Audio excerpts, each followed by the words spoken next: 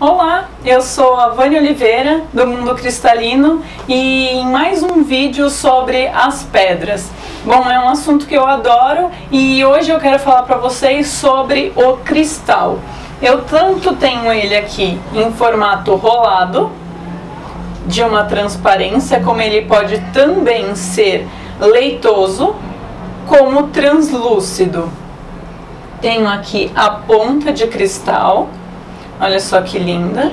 Para você saber se a ponta de cristal realmente ela é natural e não fabricada, você pode contar que ela vai ter aqui na sua ponta seis lados. Então, sempre contando um, dois, três, quatro, cinco e aqui eu tenho um pedaço pequenininho que é o número 6. Então sempre vai ter seis fatiazinhas para mostrar que ele é natural, que realmente ele só foi cortado embaixo, mas em si a ponta ela é natural. Por mais que ela possa ter sido polido nas laterais, o que importa realmente na ponteira de cristal é se ela tem seis lados aqui em cima. E eu também tenho ela em base, olha só que linda.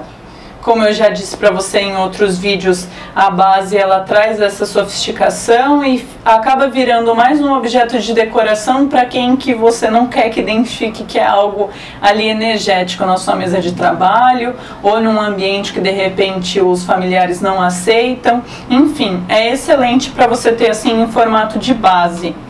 Eu acho linda porque essa é uma peça um pouco mais bruta, é diferente aqui da rolada ela está em formato bruto, não é a ponta, mas também é o cristal. Qual que é a diferença do cristal translúcido, transparente, para o cristal leitoso? O cristal em si, ele vai trazer uma força de fé, do acreditar, do ter confiança. O cristal transparente, translúcido, ele vai ter mais uma conexão espiritual, uma conexão divina, algo para você se conectar ao seu anjo da guarda, à sua espiritualidade, a quem te acompanha.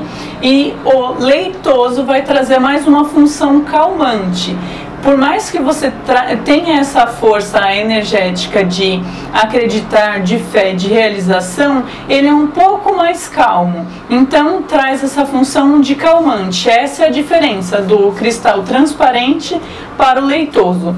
E você pode usar de diversas finalidades é mais aconselhável uma pedra de uso pessoal e não necessariamente uso coletivo. Então, se você tiver numa mesa de trabalho, que essa mesa seja sua ou que apenas você tenha contato direto com essa pedra. Ai, mas tem algum problema se na minha mesa de trabalho eu tiver essa, essa pedra ou qualquer outra e alguém pegar? Não, não tem problema nenhum, porque a pedra está destinada energética para você e se de repente essa pessoa vir a tocar na pedra, ela vai ser absorvida absorvida, é, tanto a pedra absorve a energia da pessoa e transmuta, como também essa pessoa vai receber a doação energética dessa pedra. Então não tem problema nenhum se ela pegar, não vai carregar a sua pedra. Bom, se você gostou, curte aí o nosso vídeo, se inscreva no nosso canal. Aqui embaixo tem a descrição para você acessar o nosso blog, que tem mais informações de pedras como também da nossa loja virtual. Espero que você tenha gostado e até o nosso próximo vídeo.